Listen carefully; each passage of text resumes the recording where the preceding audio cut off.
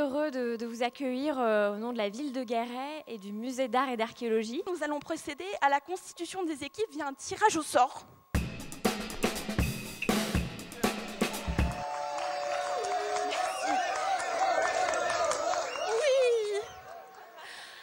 En premier lieu, on va, je vais tirer une boule verte, c'est-à-dire les codeurs.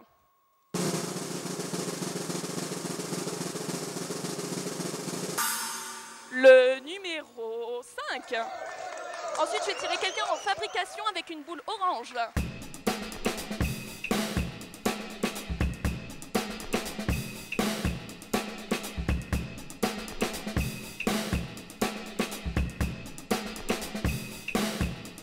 Avant d'être un musée, ici c'était un hôtel particulier. Vous verrez des cheminées, euh, euh, de la lumière qui rentre par les fenêtres dans certaines salles. Du gallo-romain, je vous montre juste les urnes funéraires dont on est très fier. On...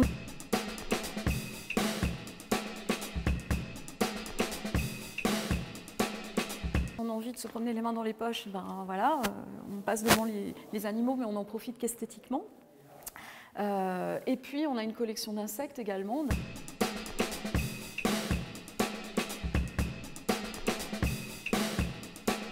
Elle a été trouvée pardon, lors de fouilles à Antinoé, euh, sur le Nil, euh, la ville construite par l'empereur Adrien. Euh, c'est une momie qui est, intéressante parce que c'est pas tout en camon évidemment, hein, mais c'est vraiment l'illustration parfaite de la persistance des rites d'embaumement, alors qu'elle date vraisemblablement du début de notre ère.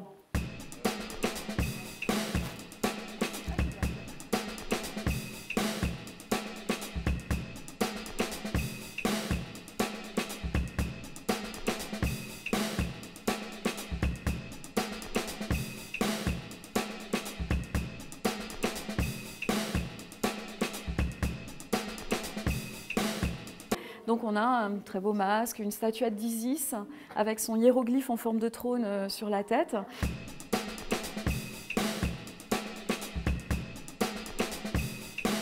Qu'est-ce que tu dirais par exemple sur le retour à deux têtes? Des, euh, mais je sais pas d'où quand il est né. Mais voilà, Ah mais oui, bien- oui, oui, non, ça d'accord, oui, oui.